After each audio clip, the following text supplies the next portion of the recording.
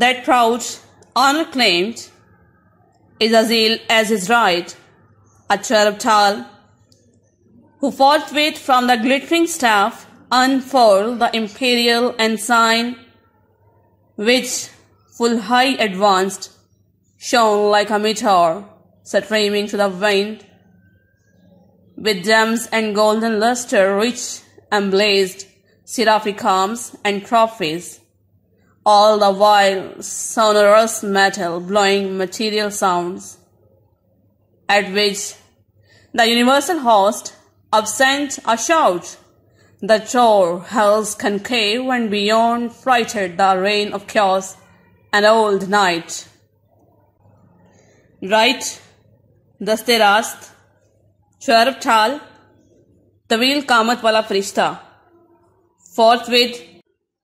foreign, سٹیف، چڑی اسا یا ڈنڈا؟ انفرلڈ کھولنا یا لہرانا؟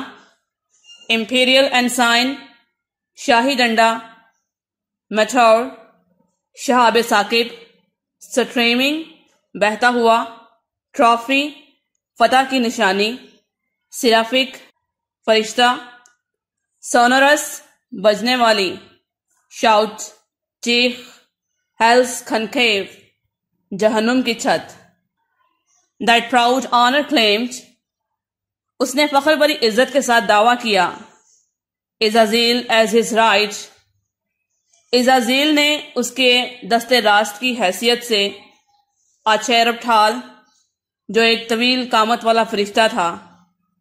Who fought with from the glittering staff unfurled جس نے فوراً ہی ایک چمکتے ہوئے ڈنڈے پر لہرایا۔ دا امپیریل انسائن شاہی ڈنڈے کو وچ فل ہائی ایڈوانسڈ جو پوری شان کے ساتھ شون لائک ہمیں chaos streaming to the wind شہاب ثاقب کی طرح چمکا، ہوا کی سمت بہتا ہوا۔ With gems and golden luster rich emblazed ہیرے جواہرات اور سنہرے چمکیلے شولوں کی طرح سرافی کامز اینڈ ٹرافیز پتہ کی نشانی کے طور پر چمکتا رہا آل دا وائل اس پورے وقت میں sonorous metal blowing material sounds ایک فرشتہ جنگی بگل کی طرح کا ایک آلہ بجاتا رہا at which the universal host up sent جس پر فرشتوں کے گروہ نے بلند کی آشاؤٹ ایک چیخ دا ٹور ہیلس کنکیو جس نے جہنم کی چھت کو ہلا کر رکھ دیا۔ And beyond frighted the reign of chaos and old night اور بہت دور تک اس اندھیری رات اور بے ترتیبی کی حکومت کو خوفزدہ کر دیا۔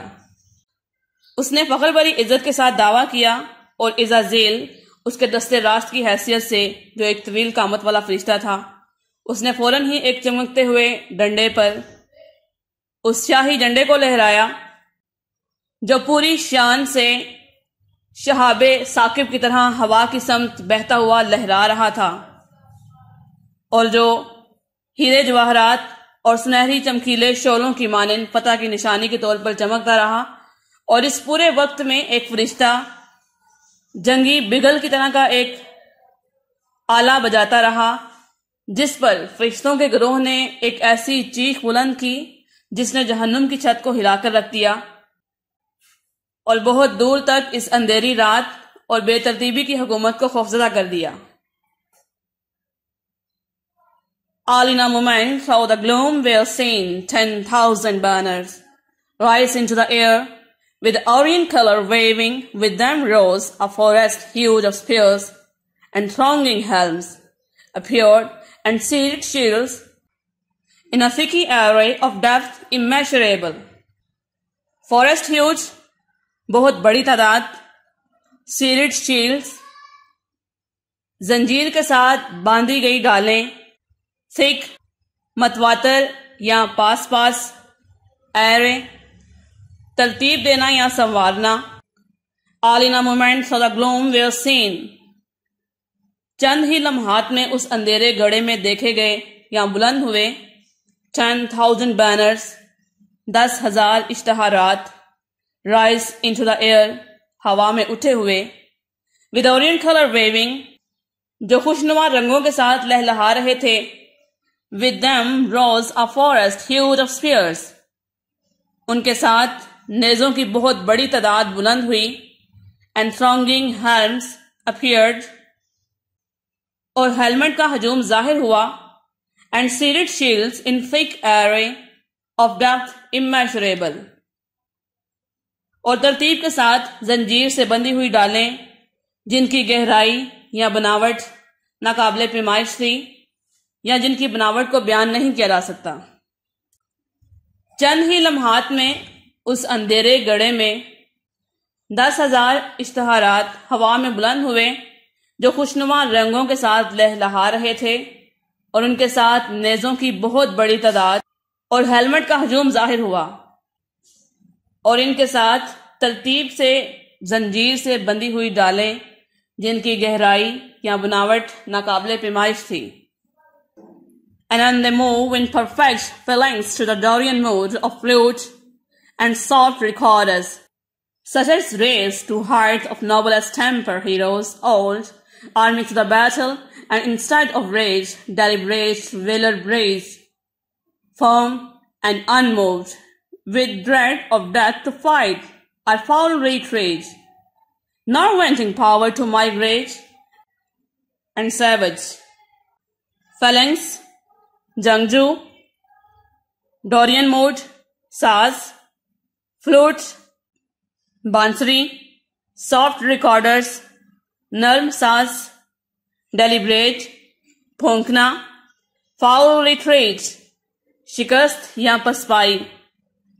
سیوج جھکنا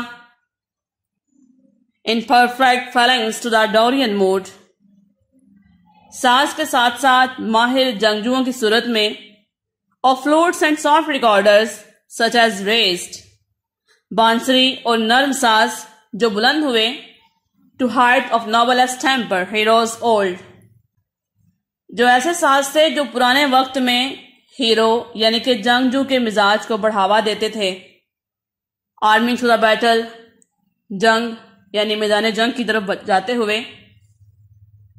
اینڈ انسٹیڈ آف ریج اور اشتعال ڈیلیبریٹ ویلر بریج ان میں بہادری کو پھونکتا تھا۔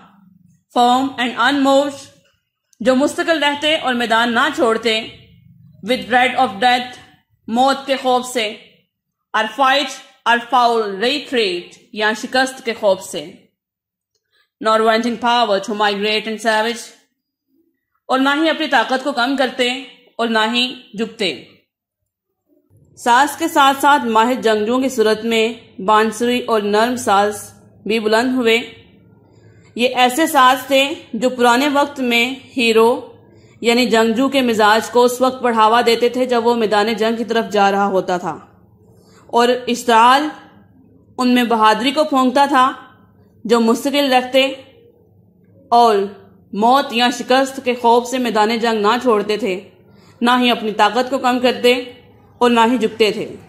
With solemn thoughts and trace anguish and doubt and fear and sorrow and pain from mortal or fever minds solemn مذہبی اینگویش غصہ with solemn touches mazhabi ehsasat, troubled thoughts, takleef the soch, and chase, anguish and doubt and fear and sorrow and pain.